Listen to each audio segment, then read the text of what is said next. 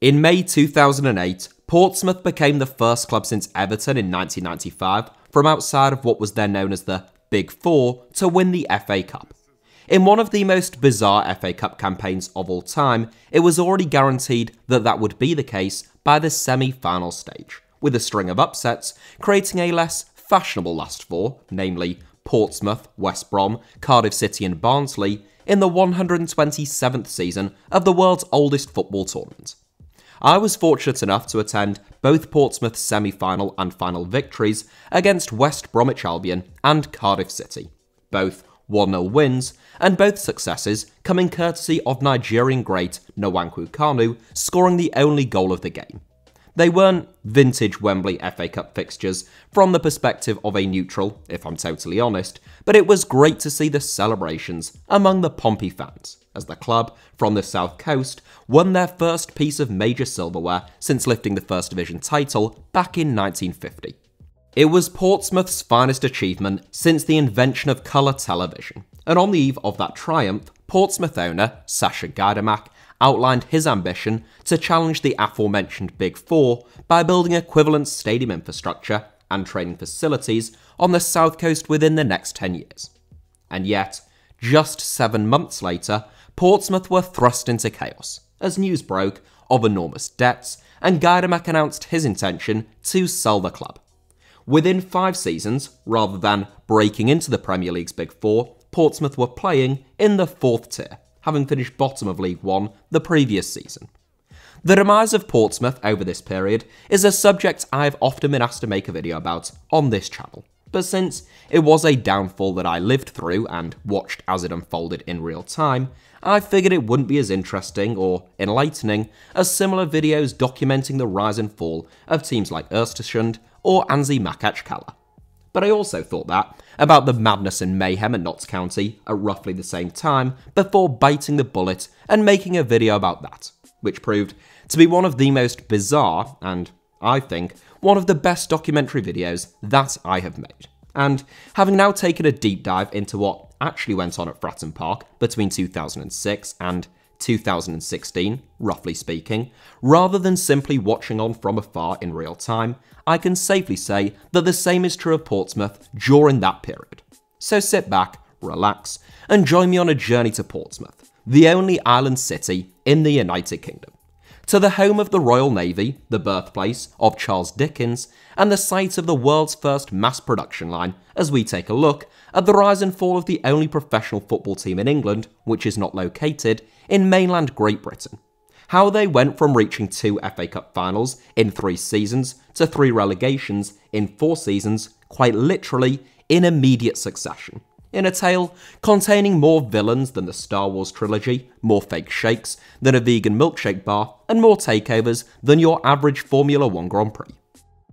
Normally, with these types of documentaries, I start by giving a little bit of background on the club involved but there is just so much to pack in in this instance that we are going to begin our story less than two and a half years before Sol Campbell lifted the FA Cup as Portsmouth captain. In January 2006, 29 year old French and Israeli businessman Sasha Gaydamak acquired a majority shareholding in Portsmouth from Milan Mandaric, who had owned the club since 1999. Gaydamak's arrival was immediately controversial, since the young businessman's father, the Russian-born billionaire Arkady Gaydamak, was subject to an international arrest warrant at the time for the illegal sale of arms in Angola during the 1990s. Arkady was accused of trafficking 790 million US dollars worth of arms, along with the French businessman Pierre Falcone, between 1993 and 1998 during the Angolan Civil War. And many years later, in 2015, Arkady surrendered himself to the French authorities and served a three year prison sentence for his crimes. However, his son Sasha attempted to ease supporters' concerns by claiming that his father would have no involvement in his ownership of Portsmouth, and that he was buying the club with his own money, claiming to have amassed a fortune in excess of £300 million before he had turned 30. Gaydamak wasted no time putting that capital to use, forking out £4.1 million to sign Benjani for a club record fee in only his second day at the club, before investing a further £7.5 million on four players a week later.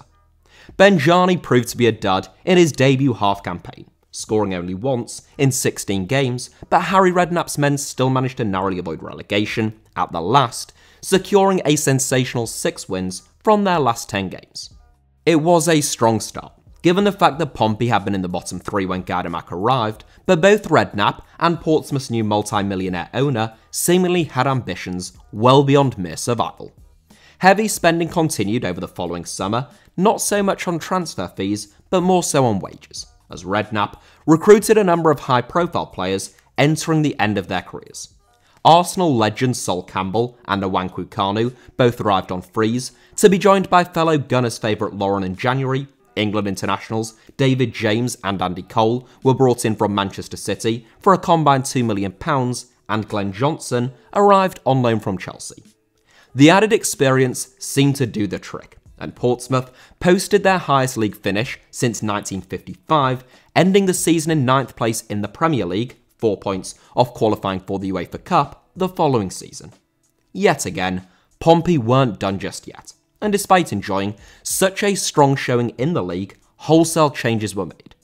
Harry Redknapp might not like being called a wheeler dealer, but Portsmouth signed practically an entire new starting 11 between that season's summer and winter transfer windows, forking out more than £50 million as the likes of Sulley Muntari, Lassana Diarra, and Jermaine Defoe all arrived at the club. Of course, on a superficial level, both Gaydamak and Redknapp were vindicated during the 2007 08 season, as Portsmouth climbed to 8th in the Premier League and knocked out Manchester United en route to lifting the FA Cup for only the second time in their history and for the first time since 1939. As mentioned in the introduction, though, it didn't take long for Portsmouth's paper fortress to come crashing down. Portsmouth's success saw them post record revenue figures in 2007 08, totaling £70.6 million, but they still managed to spend 78% of their total turnover on wages alone, even whilst generating revenue that was unlikely to be sustainable for the foreseeable future. Whilst the club rubbished reports claiming that John Utaka was handed a contract worth £80,000 a week, which would have been £20,000 a week, more than Arsenal's highest earner Cesc Fabregas at the time, the club's accounts did confirm that they had the largest wage bill that season outside of the so-called Big Four and Newcastle United. The following season, further reinforcements were added, most notably in the forms of Peter Crouch and Younes Kaboul. However, in September 2008, a new story in Israel caught the attention of one or two onlookers on the south coast. Arkady Gaydamak, Sasha Gaydamak's father, who Sasha had been adamant had nothing to do with Portsmouth when he bought the club in 2006, had given an interview with an Israeli newspaper in which he laid out his billion dollar business empire, which included the listing of a certain Portsmouth Football Club, which he valued at £300 million. Arkady had given the interview in an effort to disprove claims that his business empire was crumbling, and to illustrate his wealth, but it put his son in rather an awkward position. Portsmouth maintained that Arkady had nothing to do with the club, and Sasha was their sole owner, but fans could be forgiven for thinking that something fishy was going on, especially when Harry Redknapp left the club the following month to take over at Tottenham Hotspur. There was already talk of tightening the waist belt at Fratton Park, and Redknapp stated, when jumping from the sinking ship, that the £5 million compensation Portsmouth had received for his services would help ease some of the club's financial problems. Gaydamak blamed his change of tact and Pompey's struggles on the global financial crisis, with much of his wealth said to have been tied up in real estate, which had been hit hard. But again, long suspicious Portsmouth fans suspected Gaydamak, who was reported to have just made £34 million in arms sales by the Sunday Times, of a more sinister plan to try and strip the club of their assets. In December 2008, seven months after Pompey lifted the FA Cup, Gaydamak put Portsmouth up for sale. And though both he and the club's chief executive, Peter Storrie, denied allegations that the club was facing financial meltdown, their denials weren't particularly convincing. Over the January transfer window, the fire sale began. Lassana Diarra joined Real Madrid, and Jermaine Defoe returned to Tottenham, as stories detailing the true extent of the issues facing the club began to surface. Pompey finished 14th under the management of Paul Hart that season, who replaced Tony Adams in February, during a campaign in which the club still managed to draw 2 all with an AC Milan side containing the likes of Dida, Zambrotta, Kaka, Gattuso, Seedorf, Shevchenko, and Ronaldinho, having led 2 0 in that game up until the 84th minute. Over the summer, though, the last morsels of talent remaining in the Pompey squad were rapidly picked apart. Glenn Johnson, Peter Crouch, Sylvain Distin, Younes Kaboul, and Niko Kranjčar all departed, as Gaydamak totally pulled funding and players' wages began to go unpaid. Over the summer, Portsmouth fans hoped that they had found their saviour in the form of Suleiman Al Fahim, who was described in the press as an Emirati billionaire from Dubai who had previously been linked with buying out Roman Abramovich at Stamford Bridge. Al Fahim had assisted in the takeover of Manchester City by Sheikh Mansour 12 months earlier, which appeared to be going pretty well for the citizens, who had already broken the British record fee with the signing of Robinho and were planning significant investments in Manchester City's infrastructure. Al Fahim was a board member of the Abu Dhabi United Group, which owns 78% of the City Football Group, which today controls seven football clubs and has minority stakes in a further three. Longtime chairman Peter Storrie kept his job, in effect, though his official title changed to CEO as Al Fahim took the reins as chairman. And Storrie told supporters that, quote, this appointment brings stability to the club and is excellent news for Pompey supporters. I have every reason to believe that together with the new chairman, we will be able to take the club forward to further achievements, building on the successes of the past three years. End quote. Yeah, about that. Not much was known about Al Fahim at the time, other than the fact that his parents and brother had died in a car crash when he was 11 years old, he had emigrated to the United States, and that he now hosted a reality TV show in the United Arab Emirates. Al Fahim's supposed billions and Storrie's promise of stability wouldn't last long. Seemingly unable to run the club using his own resources, Al Fahim went out in search of a loan but no one would lend him the necessary funds as Portsmouth fell deeper and deeper into a financial black hole. As players went unpaid, the Premier League stepped in and ordered Al Fahim to sell Portsmouth fewer than 50 days after he had acquired the club. Upon his arrival at Fratton Park, Al Fahim had promised a new stadium and top 8 finishes within five years. In reality, it took barely five weeks for him to board the first plane back to Dubai. In 2018, Al Fahim was sentenced to serve five years in prison by courts in the United Arab Emirates for stealing £5 million from his wife in 2009, which he then used to buy Portsmouth from Gaydamak, which doesn't really reek of Mansour like billions in the bank account, does it? The way in which the Premier League had been suckered into believing that Al Fahim was the next Sheikh Mansour or Roman Abramovich forced the league to tighten their ownership rules when sanctioning the takeover of a club. Though, sadly for Portsmouth fans, these rules did not come in before their next owner arrived. Ali Al Faraj was the man who arrived to save Pompey, or so it was said, acquiring the club from Al Fahim just days before Portsmouth would have been forced to enter administration.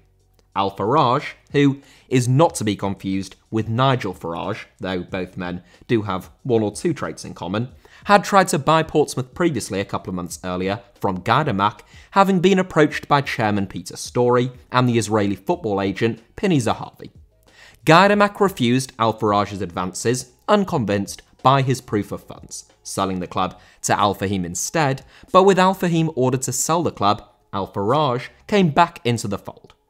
Al Faraj acquired a 90% stake in Portsmouth from Al Fahim, supposedly through his own investment firm named Falcon Drone Limited, who were believed to have taken out a loan from another firm named Portpin Limited, amounting to £17 million, in order to finance his takeover of the club, though Al Faraj never actually set foot in the city of Portsmouth. Within weeks of his arrival, an interview surfaced from Saudi Arabia appearing to show Portsmouth's new billionaire owner laughing off suggestions that he was actually a billionaire, stating that he had zero interest in sport and that he hoped to turn a quick buck on the club by selling them in the next six months. Portsmouth, initially denied that the man in the clip was Ali Al Faraj before U turning quicker than Boris Johnson every time Marcus Rashford hits the tweet button and admitting that it was in fact their owner who had made the rather awkward comments. As far as the official story goes, Gaydamak was right to doubt Al Faraj's lack of funds, and with players once again going unpaid and enormous debts mounting, he, or rather, his company, Falcon Drone Limited, defaulted on their repayments to Portpin Limited, and Portpin Limited therefore took control of all of Falcon Drone Limited's assets, including Portsmouth Football Club, with Falcon Drone's chairman, Balram Chanrai, also becoming the chairman of Pompey. That is the official version of events. The unofficial version, of which there are more than one, is even more bizarre. In fact, at one point, it was widely reported that Ali Al Faraj might not even exist. After all, no one had ever seen him, he'd never stepped foot in England, and the only sighting of him was an embarrassing interview in Saudi Arabia, for which there was no real way of knowing that was actually Ali Al Faraj, or the owner of Portsmouth FC. Yahoo News even reported in 2011, after Al Faraj had gone, that he probably didn't exist. We can now say with some confidence that Ali Al Faraj did exist, but how much involvement he ever had with the ownership of Portsmouth is highly questionable. One theory, widely popularised among investigative Pompey fans and first formulated online by supporter Mika Hall, posits that all of Portsmouth's post 2008 chaos owes solely to debts that were owed by Sasha Gaydamak's father, Arkady Gaydamak, to four men, namely Balram Chanrai, Levi Kushner, Yoram Yosifov, and Ron Marner. When Arkady told the Israeli newspaper of his vast business empire, it is alleged that Portsmouth was the only hard asset that he actually owned at the time, and that, despite tireless efforts, the quartet, who were owed money by the convicted arms dealer, had been unable to get it. As such, it is claimed those four men hatched a plan to take Portsmouth over, strip the club's assets, and recoup as much of the money that Arkady owed them as was possible. Hall and others believe that Sasha Gaydamak, aside from just realising that Ali Al Faraj didn't have enough cash to buy Portsmouth, figured out that the supposed Saudi businessman was just a front for his father's creditors. Hence, why he turned them down and sold the club to Al Fahim instead. With Al Fahim gone, though, the four men, along with Daniel Azougy, a former lawyer who had been convicted of fraud and deception offences in Tel Aviv in 2001, set about trying to extract as much cash as possible from the club.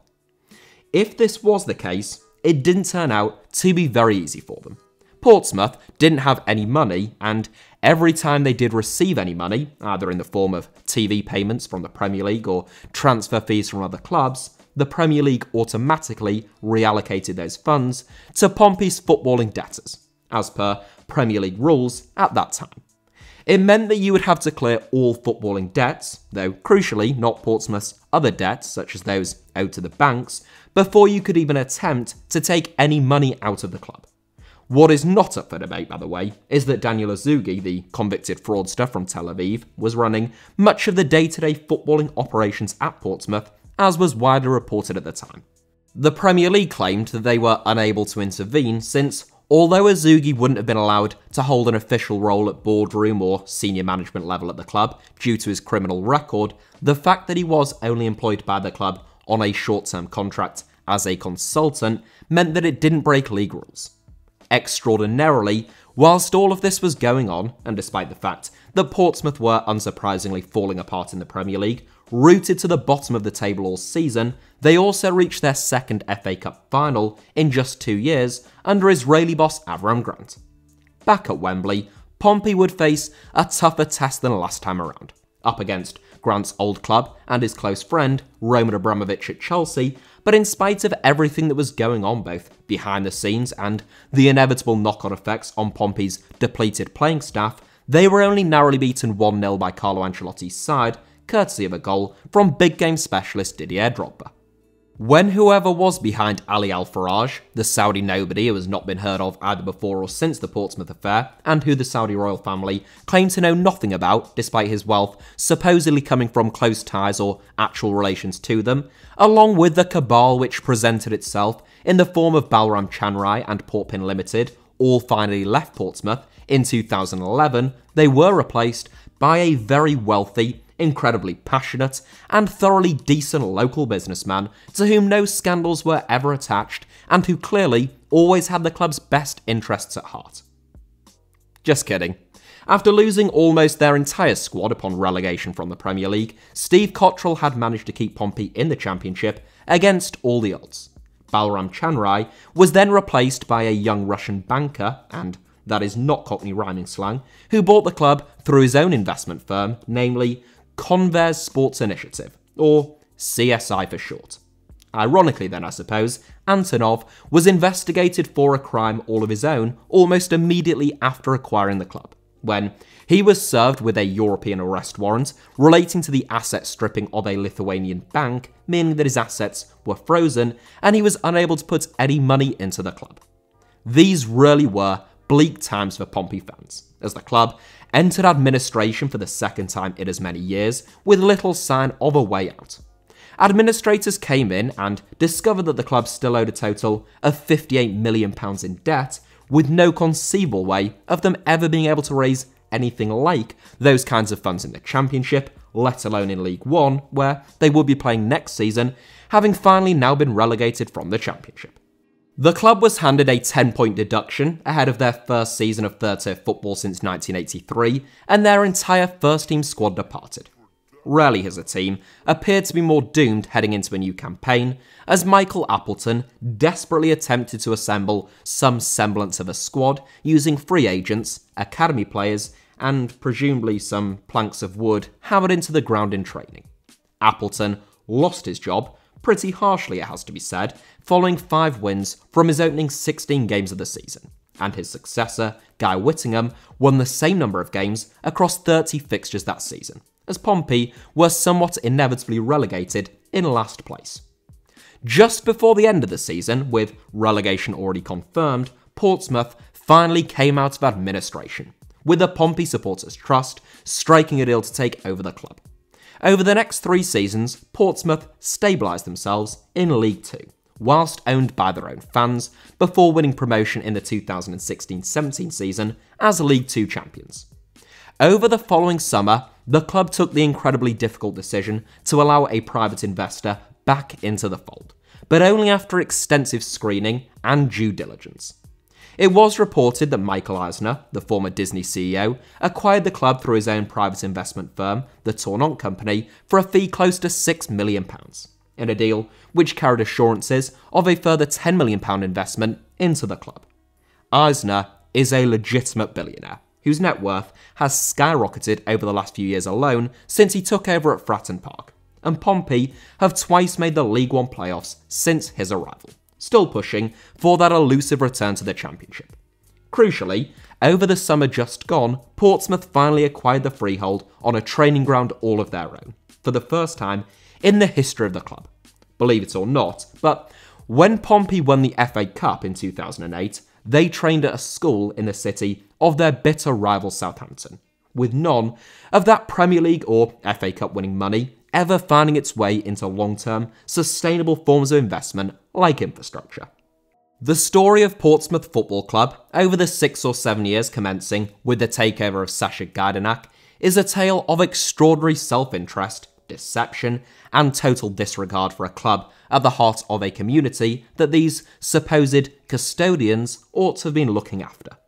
It is a tale which has become all too common in the modern game, but Portsmouth are an extreme example, even by those appalling standards, with one of the most opaque ownership structures and among the highest density of bad faith actors that the British game has ever seen. To reach two FA Cup finals in three seasons, only to enter administration twice during an even shorter period of time immediately afterwards, Owen Carlsberg, £1,039 and 33 pence, and Pukka Pies £40. No, you heard that right. I didn't miss any zeros at the end there. Administrators really found that Pompey owed Pukka Pies 40 quid. Well, that takes a devilish concoction of either stupidity or greed, and for more than five years, Portsmouth had both in spades.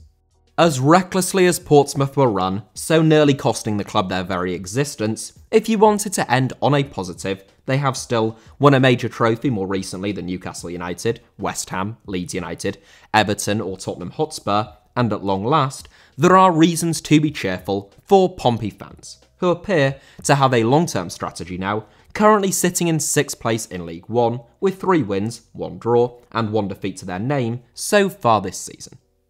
So that is it for today's video, but thank you all very much as ever for watching. Hit the like button if you enjoyed it, let me know your thoughts down below in the comments, and make sure you're subscribed, of course, goes without saying, and have notifications turned on for HITC7s.